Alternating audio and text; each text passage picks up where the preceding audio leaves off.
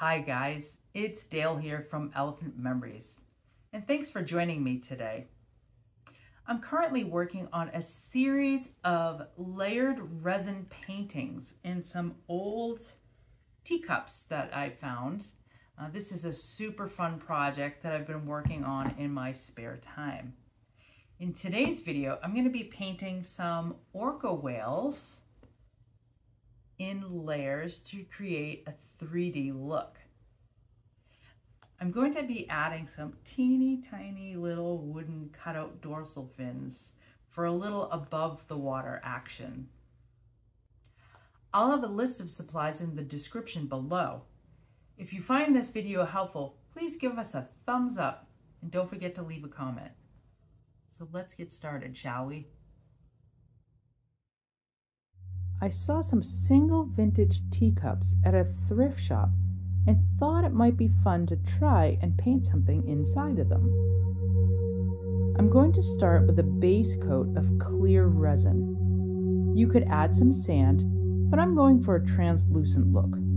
I will be letting each layer dry for 24 hours before the next painted layer.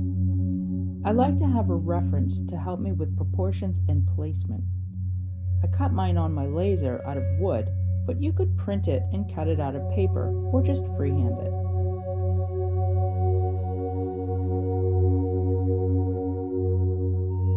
The first painted layer is just the pectoral fins and the tail fluke. Once I have traced these with my black acrylic paint, I can then go back and clean it up with a wet brush. This acts like an eraser of sorts.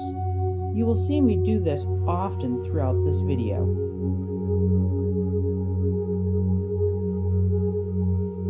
Once you are happy with the shape and placement, just fill in and let dry. You may need several coats of paint on the resin for a nice solid black.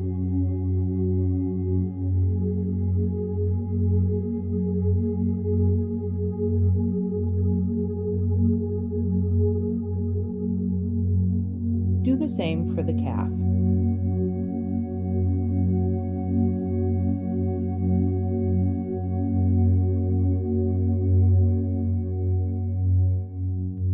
This one is so tiny that I'm using a magnifying glass to be able to see the tiny details.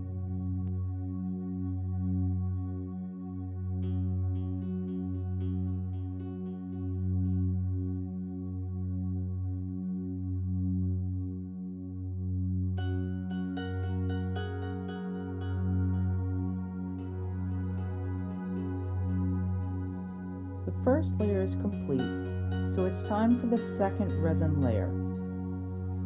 We are now in the ugly duckling phase. This batch of resin ended up having a lot of bubbles. My studio was a little cold, so many of the bubbles remain. I actually think it gives it a little more depth. Again, I'm just using the cutout as a reference. Start by creating an outline, then fill it in.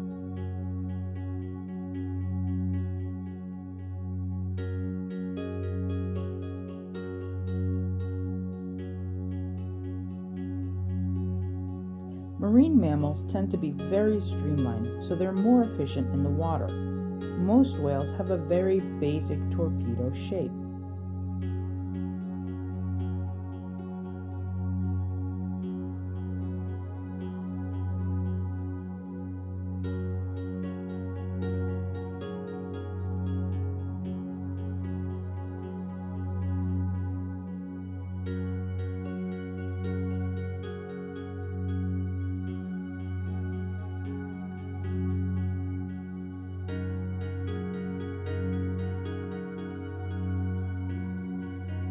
Once the paint is down, I just use the wet brush on the edges to clean the lines up a bit.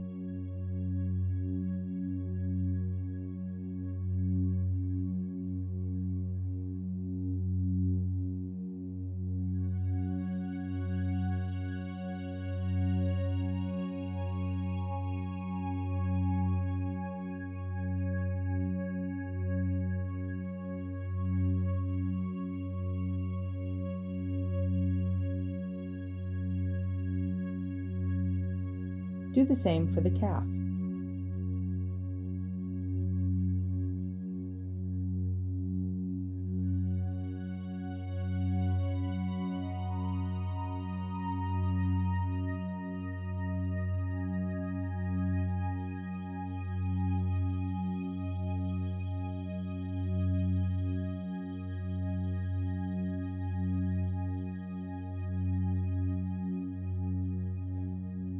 If you pick up the cup and move it around, you'll start to see the three-dimensional shape form. I just let the black paint dry before adding the white details.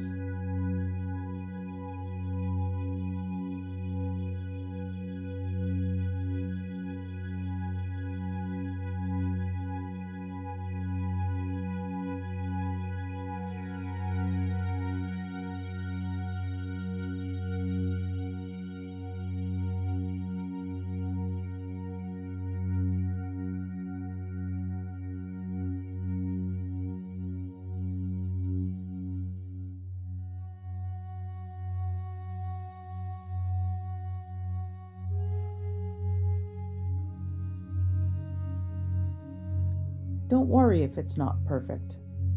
I do want the head patches to be somewhat symmetrical and will go back with black paint to achieve this.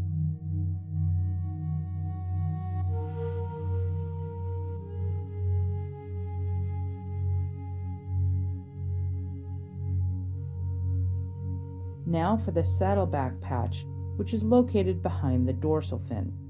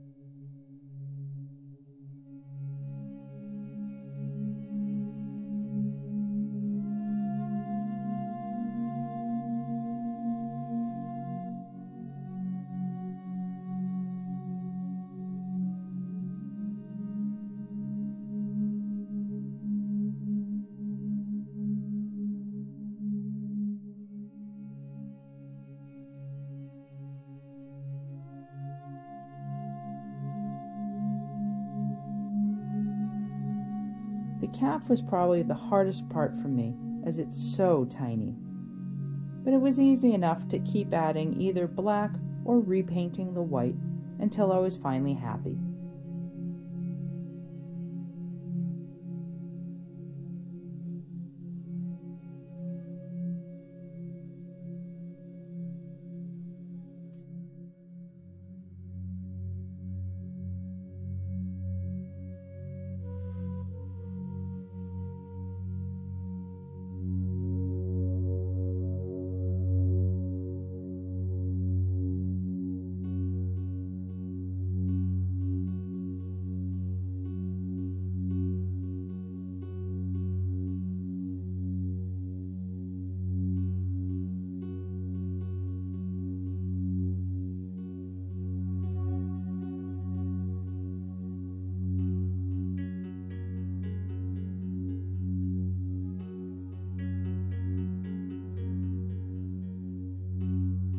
I added a spot of CA glue to the bottom of the mom's dorsal.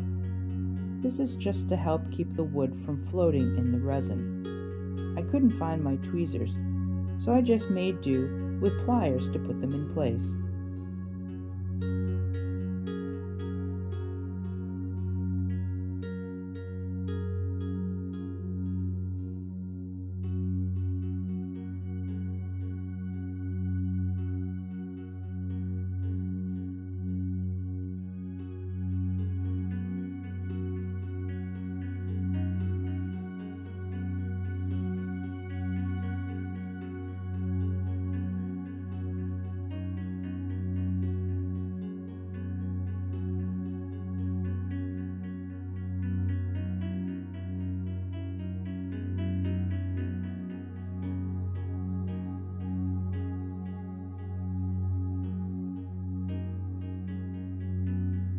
When they were secured in place, I painted them black.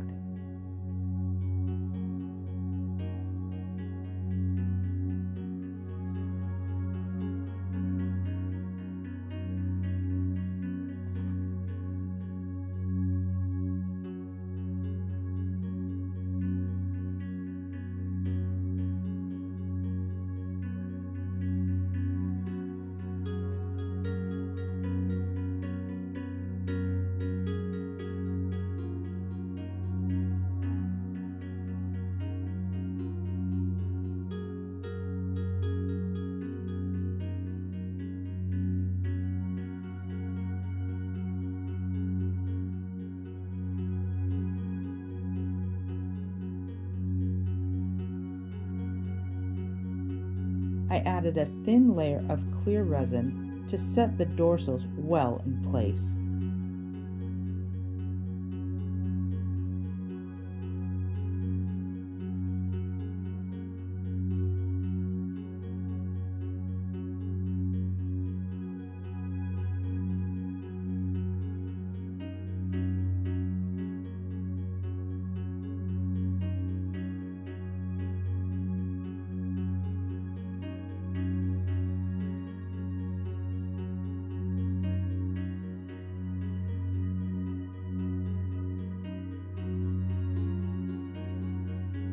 I made sure that some resin dripped over the dorsals because I do use a few blasts of the propane torch to pop the bubbles.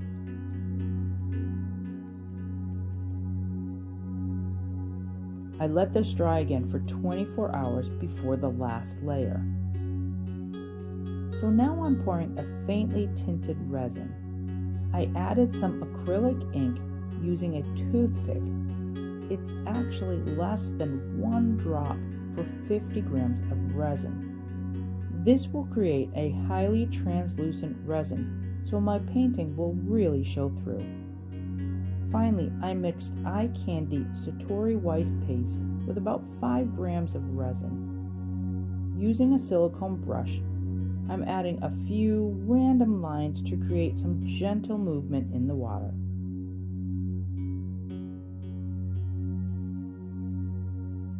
To gently blow the white and soften the edge, I'm using a handmade glass straw from Lucas Land Glass at Western Ave Studios.